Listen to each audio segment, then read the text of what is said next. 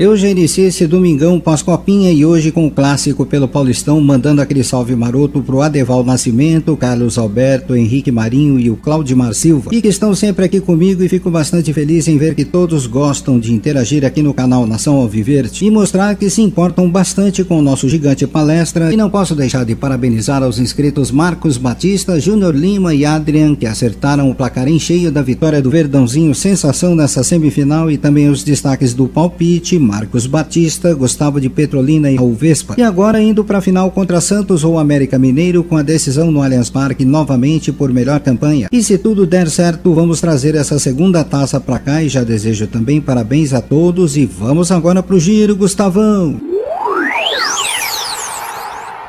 E hoje é dia de clássico, conhecido como Choque Rei contra as Tricolinas, onde o nosso time terá a chance de dar a volta por cima e mostrar que devemos ter mais confiança nesse começo de ano e no clube esse confronto é tratado como uma grande final que o elenco terá para acordar para a vida, já que sabem muito bem que o futebol precisa ser melhorado o bastante, caso ainda queiram levantar taças nesse novo ano e quero confirmar a todos que a comissão técnica entende perfeitamente as cobranças que estão sendo feitas nas arquibancadas, pois realmente estão acontecendo algumas oscilações cabulosas nebulosas em certas posições do campo, além do sumiço do futebol dos grandes protagonistas. E quem estiver no Allianz Parque faça a diferença e apoie a todos os que estarão nesse clássico, pois a gente precisa mostrar que podemos ser nos melhores e piores momentos, onde estaremos unidos com o clube para o que der e vier. E pode ter certeza que isso será muito bem visto lá dentro, principalmente com relação ao Abel Ferreira, que busca sempre pedir apoio dos palmeirenses em decisões como essas. E será que tem alguém aí que esteja confiante para hoje? Então comentem aí.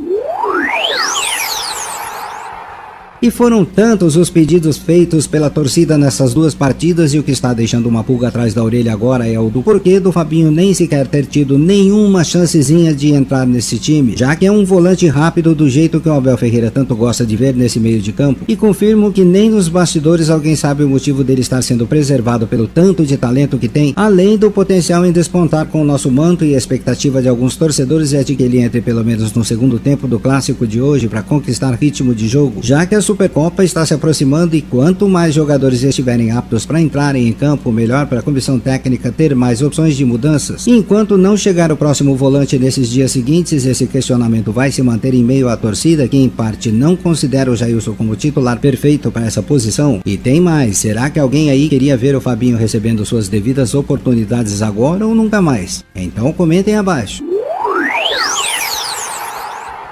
Está cedo demais para desacreditar no potencial de certos jogadores que chegaram recentemente. Todos nós, ao menos, ainda acreditamos em tal. Mas se alguns deles não estiverem cruzados com o elenco, é hora de tentar outros. Mas uma realidade que precisa ser dita é que será mesmo que todo jogador que chega com status de craque precisa muito de tempo para mostrar o mínimo de seu futebol? Ou isso é frescura? Em minha visão, o Tabata e o Atuesta, pelo tempo que tem de Palmeiras, já deveriam ter mostrado muito mais pelo time organizado que o Palmeiras tem. E torço muito para que eles me surpreendam surpreendam e façam elogiá-los aqui no canal um dia, pois gastar quase 60 milhões nos dois para não ter resultado algum é um prejuízo inacreditável. E olha que nem falei de salários e luvas, já que são super valorizados e muitos aí vão concordar comigo porque está complicado mesmo, viu?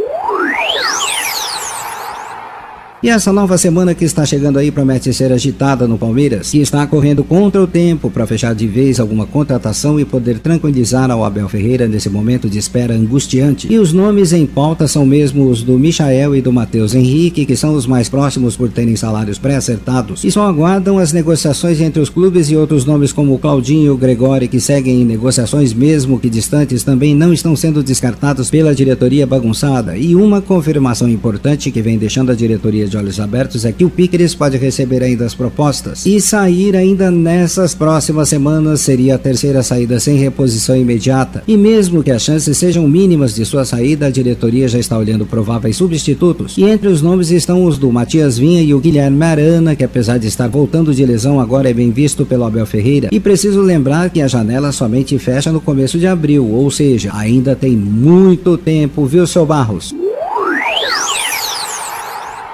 E foi marcada hoje uma reunião que vai definir de forma concreta o final de contrato do Carlos Eduardo, que está de malas prontas para Portugal. E quando o Palmeiras menos esperava aparecer proposta por ele, acabou surgindo o Estoril, que topou bancar maior parte dos seus salários e ter o atacante nesses próximos meses. E essa contratação, assim como a do Lucas Lima e outros que não deram certo, são até hoje colocadas como exemplo de como não devem ser feitos certos contratos. O seu Matos é o grande responsável por isso. Me perdoem os que gostam dele, o Barros não fica muito muito longe também não. E só para se ter uma noção, foi por conta desses gastos desnecessários que fizemos em 2020 que acabamos tendo de dar espaço para as categorias de base por não ter havido caixa para contratações. E ainda bem que tudo foi consertado em tempo, pois se tivéssemos naquele mesmo nível de contratos badalados, hoje estaríamos numa situação complicadíssima, viu?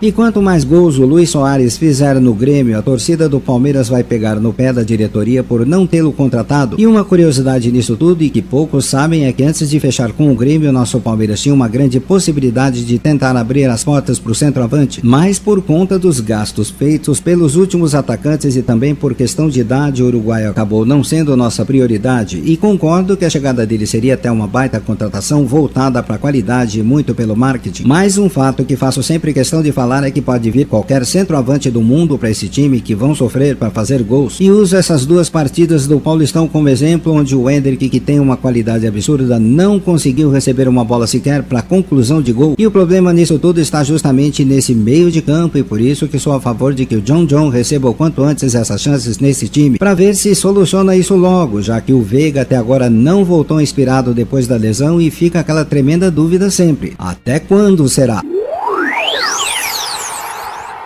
E agora chegou o momento mais esperado, que é a provável escalação para logo menos. E conforme acompanhei do último treino, deveremos entrar para esse clássico com o goleirão, o Everton, na zaga, o Gomes e o Murilo, nas alas, o Piqueres e o Marcos Rocha, no meio, o Gabriel Menino, Zé Rafael e Veiga, e no ataque, o Rony, Dudu e Hendrick. E como todos já devem prever, o meio de campo será a grande dúvida ainda, já que não está descartado que o Jailson se mantenha como titular, mas garanto a todos que os três primeiros que acertarem o placar serão selecionados para o vídeo seguinte, ok? Então me falem aí.